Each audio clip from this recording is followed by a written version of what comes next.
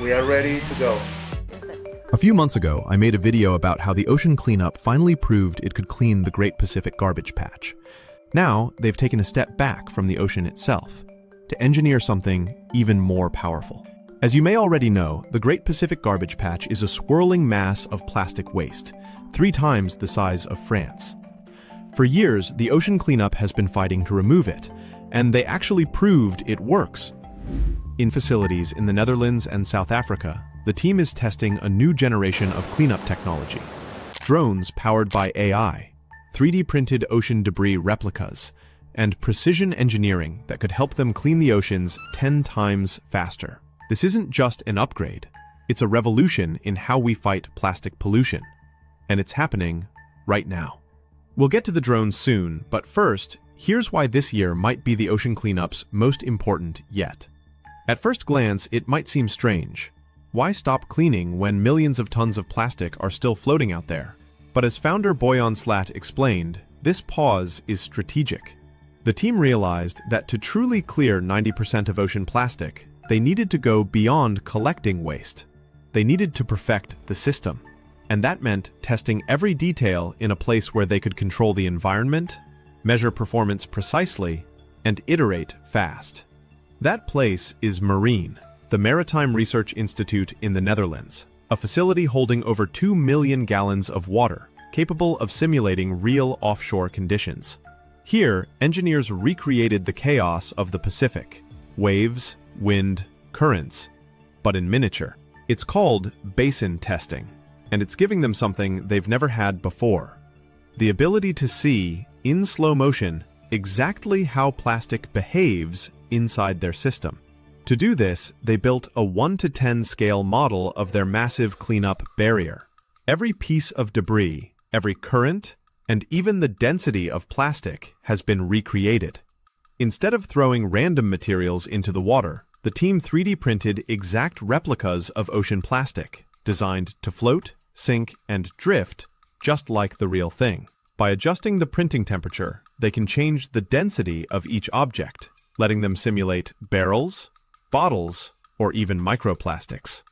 These tests reveal how and when plastic might slip under or over the system's wings, something nearly impossible to observe in the middle of the Pacific.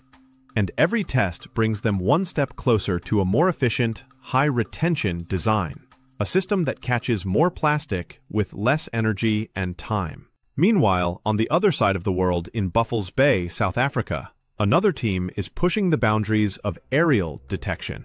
They're flying drones equipped with AI-powered cameras, infrared sensors, and optical systems capable of spotting floating plastic from kilometers away, even at night. Why does this matter?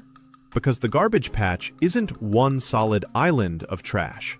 It's a vast ocean filled with drifting plastic hotspots. Finding them is like looking for moving targets in a sea the size of a continent. Until now, ships had to rely on guesswork and surface observations, but with machine learning algorithms trained on satellite data and partnerships with Amazon Web Services, the Ocean Cleanup is developing a system that can scan the ocean in real time, predicting where the plastic will move next. These drones act as scouts, scanning ahead of the cleanup vessels, steering them toward the most concentrated zones of waste. It's like turning the entire Pacific into a mapped, living dashboard of plastic density. All this data doesn't just stay on the surface. It feeds into what they call ADIS, the Automated Debris Imaging System, an onboard AI that catalogs every piece of plastic collected. With each haul, it learns which shapes, colors, and materials are most common, refining the algorithms that detect new debris from the sky. This fusion of robotics, AI, and oceanography means that the ocean cleanup is no longer just cleaning, they're learning. Each mission makes the next one smarter, and the results could ripple far beyond the garbage patch. From rivers, like those captured by their Interceptor 006, to future collaborations with coastal governments, this technology could eventually stop plastic before it ever reaches the sea. So yes, the ships might not be in the Pacific right now, but beneath the surface, the biggest transformation in ocean cleanup history is underway.